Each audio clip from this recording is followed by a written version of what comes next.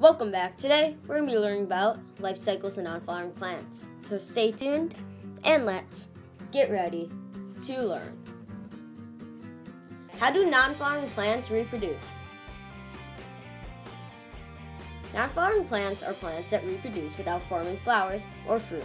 They include seedless plants and gymnosperms. Seedless plants, such as mosses and ferns, are non-flowering plants that reproduce by forming spores.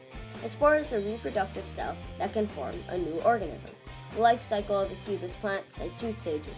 In the gametophyte stage, the plant produces eggs and sperm cells. In the sporophyte stage, the plant produces spores. In the fern life cycle, a spore grows into a gametophyte.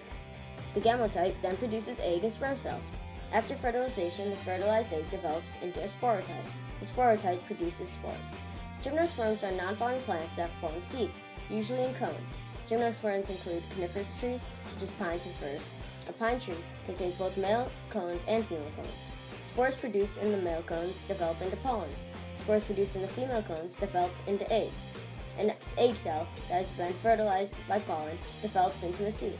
The seed contains a young sporophyte plant and a food supply. Under the right conditions, the young plant can grow into an adult sporophyte. Here's a photo of gymnosperms.